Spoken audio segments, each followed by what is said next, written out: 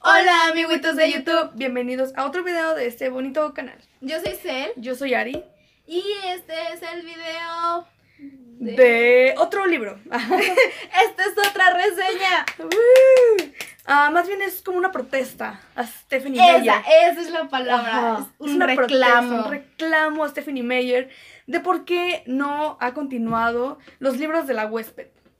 Y hablando de eso, esa va a ser la reseña de hoy. La huésped.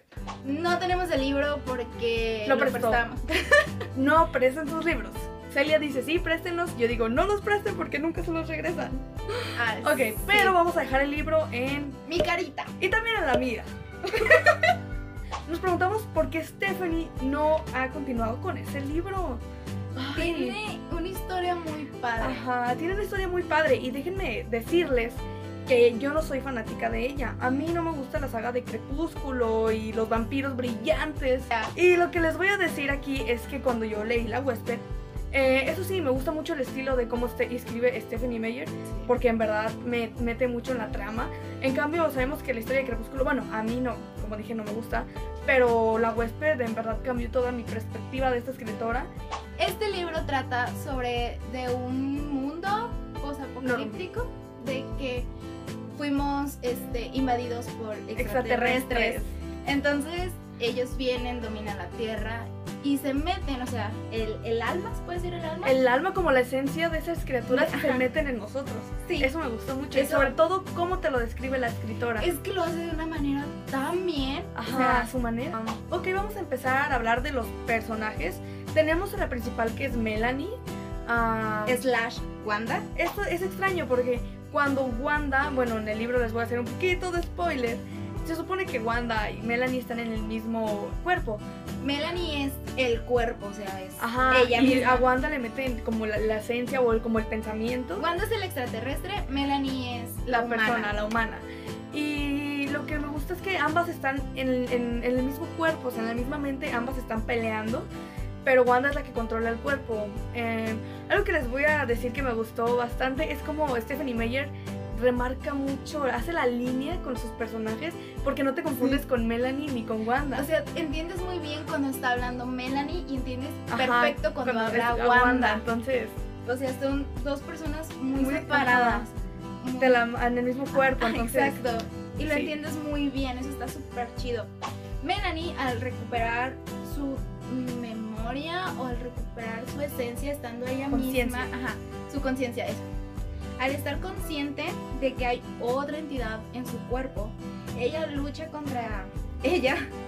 Melanie lucha contra Wanda para poder recuperar su vida, recuperar su cuerpo y no dejar que un ser extraño llegue y invada, o sea, esa es la palabra. ¿Por qué tienes que leer este libro? Ese libro, como ya dije, tienes que leerlo porque si tú tenías un- una idea de cómo era esta escritora Stephanie Meyer, nada más por los libros de Crepúsculo, eh, yo te digo que lo leas para que en verdad veas lo que esta señorita puede hacer, además, que es de, además de vampiros brillantes. En mi perspectiva, o en mi manera personal, al principio sí es muy lento. Al principio cuando yo lo estaba leyendo era como de... Y sí me, me, me estresaba tantito, ¿sabes? es que Porque tiene- sentía que estaba ajá. muy lento. Es muy lento, tiene, o sea, es, es así el libro. Sí, y- son muy grandes. Pero te da muchísimos detalles, en verdad creo que Stephanie escribe muy bien. a Sí. pesar de sus cositas, escribe bastante bien. Y pues también a lo que viene este video es que el final pues sí se queda como cortado, como que, o sea, te da el pie de que va, sigue una historia, o sea, sigue la historia. Entonces, este video pues es, Es como... un reclamo. Es un reclamo, Stephanie Meyer, ¿por qué no has hecho Tienes que continuarlo, por Ajá. favor. Yo sé que habías dicho que no lo ibas a hacer, pero ¿por qué no? O sea, volviste a Ajá. sacar Crepúsculo por sus 10 años, ¿por qué no vas a sacar la segunda parte de la huésped? Bueno, vamos a darle unas snitch a estos... Nuestra Nuestra calificación. calificación, las snitch, ¿no?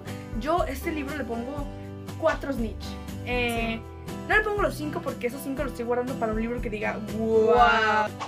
Es bueno, pero hay algo, hay algo que no continúa. Si, si tuviéramos saga completa tendría las 5, pero no, ¿verdad? No, ¿verdad? Nos Cuatro. en 4. ¿Está bien cuatro? 4. Bien. Y bien, esto ha sido todo por el video de hoy. Esperemos y les haya gustado el libro, ya saben.